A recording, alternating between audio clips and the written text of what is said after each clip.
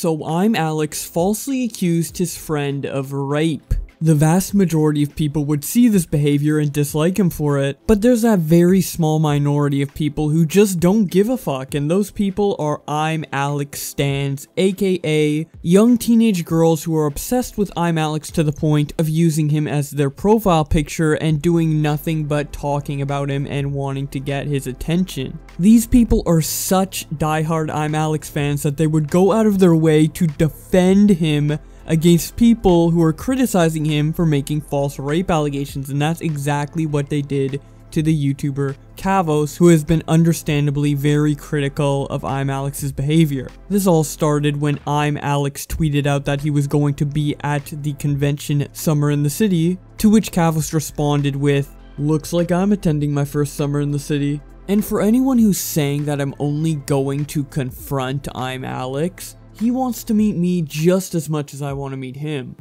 Just listen. Meant to meet Kavos five times. That's never happened. Oh, He never turns up. Yeah. And I want to meet him. I'd like to have a conversation with him and go, why did you make the video? Yeah. I was like, I could understand that. Once Kavos announced that he was going to this convention with the primary intention of confronting Alex, Alex's stans started to fight back against the evil Kavos. Kavos posted some DMs from Alex Edits, who said, Alex is better than you, showing a Photoshop picture of I'm Alex holding up a sign that says, Kavos only hates me because I'm cuter than him. Alex Edits follows it up by saying, Get a fucking honest career, you skeet. And then Kavos quotes all of this by saying, This is the shit I have to deal with. you have Kavos posting some more messages from Alex Stans with the caption, Oh god, I'm shaking. I better hire security. The I'm Alex stans are going to beat me up at Summer in the City. Then the day comes around where Summer in the City actually starts, and Kavos posts a picture of him being there asking, Where's Alex? And I'm sure a lot of other people were asking the same thing, as many people probably traveled far and wide to come see their favorite YouTuber, I'm Alex, but unfortunately, he couldn't attend because he posted this on his Twitter. Apologies to everyone I was meant to see at Summer in the City today. I feel really ill and don't want to turn up when I can barely stand. I'm sorry if I let anyone down by not turning up. I've just really not been up to it this week. Of course, after this tragic news, we have people like Nicholas DiOrio showing their support by tweeting at him. Can't imagine the stress and agony that losing subscribers every upload must cause. Stay strong, Alex. He's a good boy. Didn't do nothing. Kavos then shows this tweet by I'm Alex and says, Kavos never shows up. Hmm. Now, only a couple days after I'm Alex completely skipped his appearance at the Summer in the City convention because he was too ill, he launched a brand new episode of his brand new podcast called the Internet Sensation Podcast. And on that podcast episode, he seemed very healthy, very well, not really sick at all. So honestly, that was a pretty miraculous and fast turnaround time from when he could not attend Summer in the City for whatever reason, totally not related to Kavos being there to confront him about the Slazo allegations. So of course, Kavos tweets out, I'm Alex, you were ill for summer in the city? Okay, fine. Let me on your podcast then, because you clearly have had a miraculous recovery. And this tweet in particular triggered the I'm Alex stans. The I'm Alex stans decided to go to war after hearing this tweet from Kavos because a Twitter account called Amy Jade posted a very lengthy letter to Kavos with the caption, Sorry, not sorry, Kavos. Just a wee message from a group of about 20. Edited by 3, approved by thousands. XX, I'm Alex, XX. And this is what the post reads. A letter for our darling Kavos. Right, Kavos, you ugly fucking shit! Firstly, just a little message from all of Alex's fans. Fuck off. No one fucking likes you or your lies, you absolute cumrag. Second of all, Alex can't help his mental illnesses. Some people know how to recover from them faster than others. Some just automatically recover faster than others. They don't get to choose. So before you start laughing and joking about how he didn't go to summer in the city because of it, learn some knowledge, you thick bastard. You're acting so disgustingly petty about the whole situation, so personally, I think you should just shut the fuck up and pull your head out of your ass. Just because you think you're a hard man because Alex made a mistake like every fucking human and you called him out for it, that doesn't in any way mean you can take the piss about his or anyone else's mental health. In my opinion, Alex took longer to reply about the Slazo situation because of his mental health and all the pressure he had been put under because of you. I really don't understand why you have to get involved with this podcast, because it's pretty clear to me that you're just trying to cause shit again. So, how about you go back to your deep, dingy hole of disgrace that you came from and leave Alex alone because his situation has nothing to do with you anymore? He's apologized, so why don't you just leave him the fuck alone? You should be embarrasses, honestly, because you're just getting your fans to turn against him because they've been influenced by your horrible opinions of him. Your fans most likely haven't seen the nicest side of Alex and realized he's a caring, creative man who deserves nothing but appreciation. Yes, he made a mistake, but who hasn't?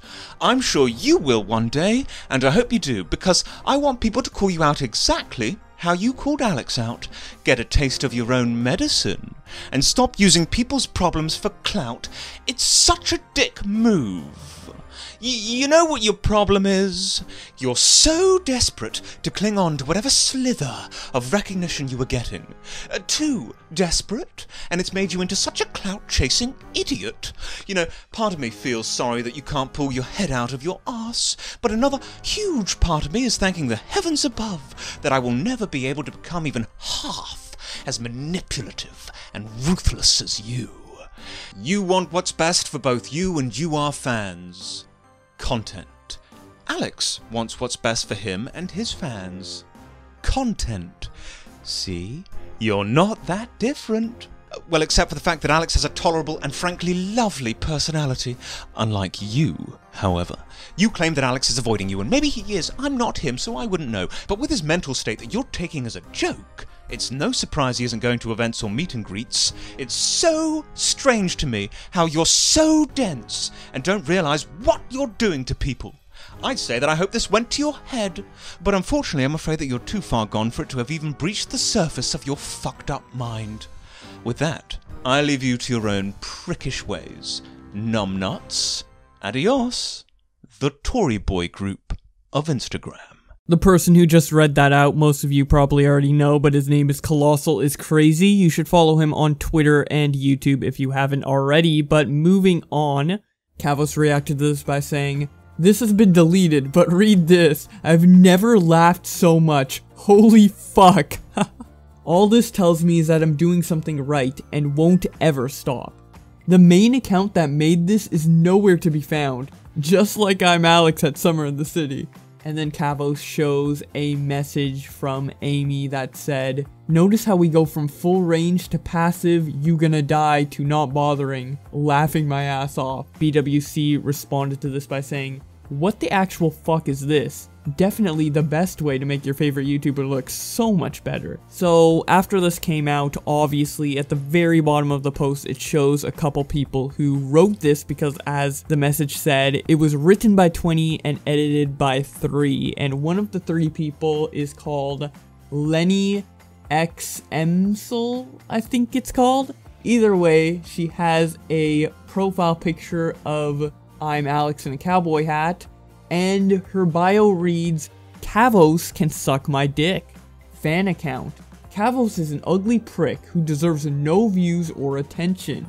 And then if you check out her story, she has a couple interesting messages. One of them reads off, I've actually had enough people making fun of Alex. He's not mentally okay at the moment, and everyone gets that. So let the man rest and find himself again. And it's absolutely disgusting that his fans are saying your depression is a mood and just kill yourself. And stuff like this. Depression isn't a joke. People commit suicide because of this. And people like Kavos is like, oh, you were ill, but now you're making podcasts. Like maybe he's found himself, but we need to let him have time so he can feel 100% again. So I don't tell him to get some sleep. to don't tell him to have a break from YouTube because that's what makes him happy, making his fans happy. And Keemstar has made fun of people with mental illnesses before. Example, Etika. And look what happened his mental illness got the better of him. And he took his own life at such a young age. Alex, we are all here for you. And take the time you need. There is no rush.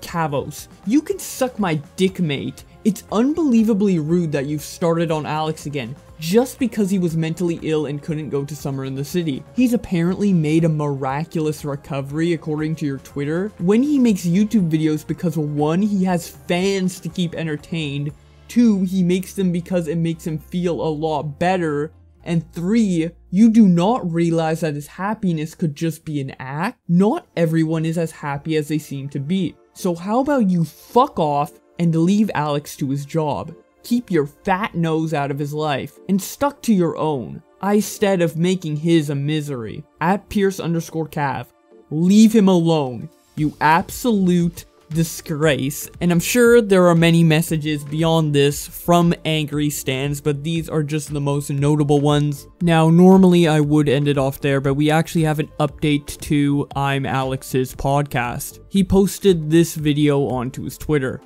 You may be wondering why I'm in bed. Um, it's because I've given up entirely on life in general. Um, now, you may know I've been on an extensive break on YouTube because I've been writing and working on multiple projects, and I launched one of them yesterday, which was a podcast. Um, we spent a lot of time working on it, um, a lot of time, and I was thinking, finally, I started to release these new projects, and it's nice to be working on some stuff that I'm really passionate about. Um, apparently that feeling didn't last very long. Because I was just recording a video with Will, and in the video, we moved the laptop forwards, my laptop, with everything on it, um, the files that I need. That are now gone. Because Will's microphone came loose and smashed my MacBook. So I won't be doing anything for a bit until I fix it. So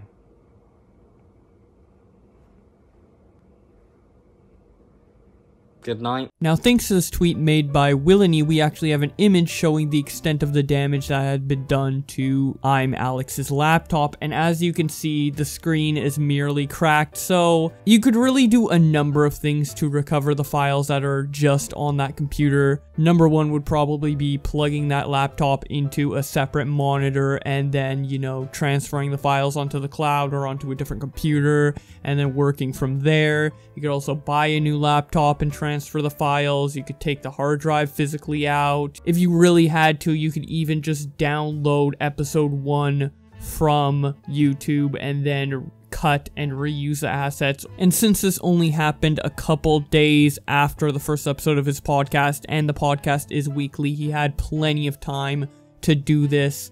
So, to make a video saying you feel like you were done with life because of this, I feel is a little bit over the top. But hey, if he wants to say that his soul was crushed due to this microphone falling onto his laptop, he is free to do so. It's just not something I would do, especially when it pertains to my job. I would kind of just like, you know, get it done and then maybe talk about it after the solution is fixed, especially to avoid worrying my fans. But Ultimately, it's up to him on how he decides to express himself online, but it's also my right to criticize it because uh, he doesn't really have the best track record when uh, saying stuff publicly. False rape allegations are a bit, a bit bad. But Nicholas DiOrio, who frequently shares similar opinions to me, decided to say this about it on Twitter. This tweet has it all. Walking the dog, uh, uh collecting boulders, uh, smashed MacBook, L-O-L.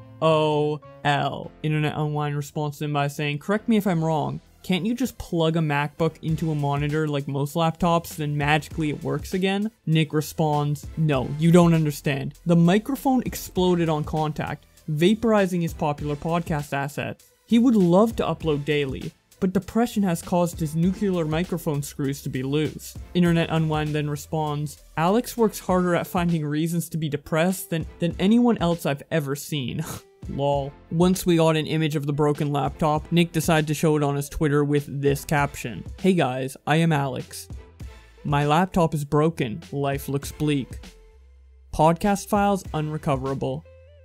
An internet sensation podcast cannot continue. But you know what can continue? My coverage of people talking about YouTube drama on Twitter. If you want to keep up to date with all of that, I highly recommend subscribing to this channel with notifications on. If you want to see this all unfold in real time, I highly recommend following me on Twitter. Thank you to Blue Heat for becoming a channel member. If you also like to become a channel member, it is only $1 a month and you get a shout out at the end of every video. But with that all being said, thank you guys so much for watching and I will see you in another video.